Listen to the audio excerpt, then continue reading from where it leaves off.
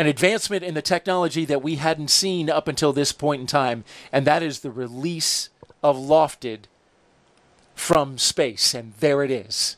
This is a replay of the LOFTID return vehicle, the inflatable decelerator separating from the Centaur upper stage, falling back down to planet Earth. A little bit uh, looks like somewhere over the Middle East, maybe the Mediterranean Sea.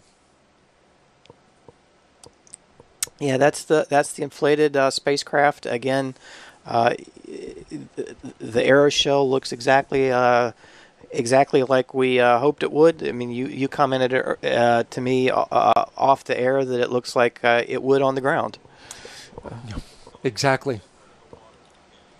And as we look at it, it's important to point out, as we've just been saying, that we have both LOFTID and the electronic data recorder, which was ejected from the inflatable decelerator before it splashed down, both are now down in the water, transmitting GPS location so that the recovery ship, ULA's Kahana 2, can track both them down, both of them down, and pluck them out of the water.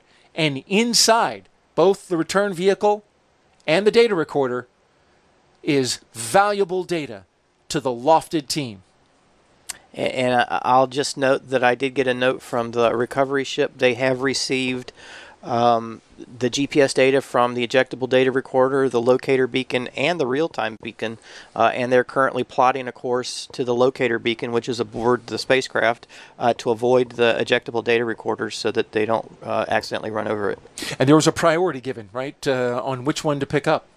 Yes, yes, absolutely. The, again, the priority uh, is to get the spacecraft first uh, because there is a risk that it, it, could sink, and we would like to uh, recover it if at all possible.